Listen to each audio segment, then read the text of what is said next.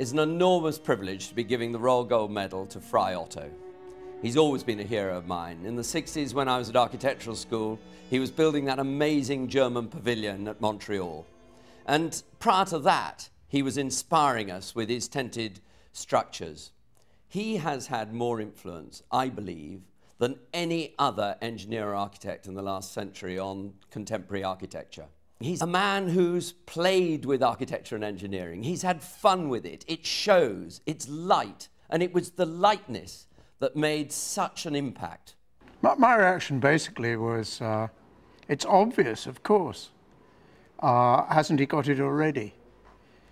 Uh, it's, uh, it's as if Marlon Brando had never been offered an Oscar. There's a tendency to, for us to see engineers as people who prop up our ideas, and it's a completely wrong way of looking at it. Engineers and architects work absolutely together. Question is, is Frei Otto an engineer or an architect? He's both. I have never met many geniuses. I think none of us have. But I've worked with one, and that was Frei Otto, and he's a genius. There's nothing really very much that, that needs to be done in that field. And uh, you know, everybody who comes after him will, will be filling in little pieces, but the, the main work has been done. Well, I describe him as a researcher, an inventor, and an, a great instigator of solutions, particularly architectural solutions. And it's out of the process of invention that he's really driven forward architecture, I believe, and engineering. I'm just so fantastically glad that one has got an opportunity to congratulate him uh, after you know, you know, having spent my life copying him, trying to learn from him, um, and just of living with him. I had to be a soldier. I was a pilot in the last war in the German air defense. Between my 17th and 19th year, I have seen German cities burning and it is a very strong first semester for an architect or city planner to see a whole city burning. You can never forget it. And later on, I had the opportunity to work as architect between my 20th and 22nd year in France in prison of worship. But I started with friends in prison of worship to think about how we can use less material for building, but also to use the material in a technically better, but also more beautiful way. And it's much easier to build at first a model and to discover your mistakes which you are doing on the ready building. Shigeru Iban wants to use another type of structure, uh, which uh, we did for Essen at the World Exhibition. The secret how the model is built, you have to look from underneath. Okay, but we do not know if the thing will go on. Nobody knows. I think the first thing is that he did so much and he's doing so much. I mean, if you look at the list of achievements from uh, tents uh, to uh, net structures, pneumatic structures, uh, trees, umbrellas, you name it, he's done it. The most important for us was the cable net structure for the German pavilion in Montreal, where we firstly used a pre-stressed cable net um, out of 10 millimeter thick steel cables and, and uh, covering an area of about 10,000 square meters. And with this knowledge, we could build the Munich thing.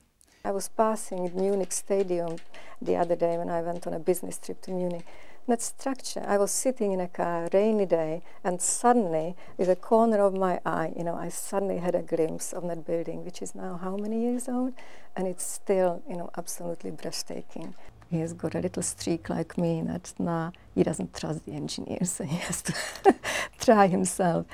And now he actually experimented with the buildings. He allowed the building to move. He, that was unheard of. And I had some experience. 1962, I made my first study in Essen with these so-called uh, grid shells. And for Mannheim, we developed then a grid shell, a pretty large one with a free span of 80 to 80 meters. And uh, and using lattices of 47 millimeters to 47 millimeters. I was the site engineer for Mannheim. It was one of these typical projects that you come across with Frei where the engineering science really needs extending in order to produce the solutions to Frei's inventions. We have been just only three weeks ago over in Mannheim. Ian Liddell was coming over with a proof engineer and we tested the structures, just wood and a very thin skin. The skin has the same tension as uh, 25 years ago, and so we have been happy that this experiment was going good. And the other experiment, like the Munich roofs, they also are still standing in a very good way, so I'm happy. We, we've uh, uh, often done bent and curved structures, most especially in the grid shell, the Downland grid shell at the Weald and Downland Museum, which we did, we were, of course, how could you not be influenced by uh, Otto? But we got Otto, we got our Otto direct because our engineers were uh, Happold, Michael Dickson, John Harris, who were uh, had worked absolutely directly with Frei. Hooke Park was planted in the year 56, as I remember, and the trees has been very slender, no tree was cutting out. And going through this wonderful uh, country with the ground was blue from bluebells with uh, Richard Burton and uh, Ted Happold, and we discovered why shall we not use the wood which we have to take out anyway? It's just like working with somebody who's had, you know, double the experience that most people have had.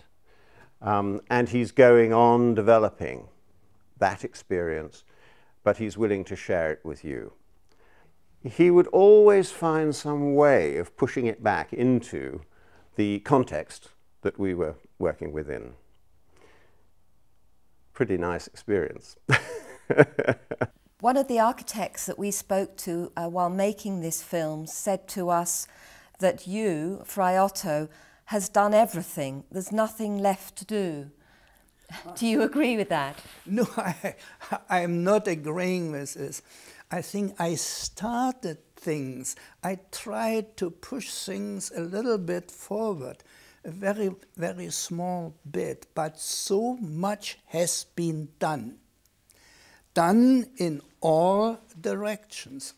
At first, of course, against catastrophes. There has been done very much. Uh, earthquake, floods, and fire, and other catastrophes. Of course, the biggest enemy of buildings is man of course, um, and architects are always a very peaceful family. But so many questions are open. You can go through history, um, and certainly in modern history, and see how it has developed on the back of people like Frei, Bucky Fuller, and so on. And for the Pompidou Center, uh, it, he put me in touch when I went to him first, and he said, "Not, not, uh, not me. I'm too busy." And uh, I went to Ted Happold, who I'd met through him, and through that, of course, we did the Pompidou Center. We won that competition. So there's a link to the Pompidou Center and certainly a link to the way that we approached it. And you're working on a design at the moment for a station here in Stuttgart?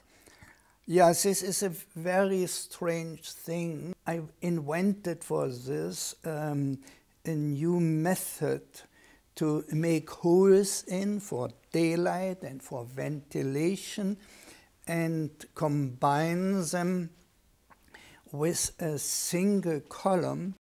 But until now, we do not know if we will build this. What about Fray influence on the dome? It seems to me, I mean, the dome is, is vast tent. I think you can see it everywhere. The, yes, you're quite right. The dome is probably the, the closest because it again encloses a very large area with a tiny amount of material. Um, and you know, again, tensile structures. I've been talking tensile structures ever since I suppose I first read about uh, the relation between energy and enclosure.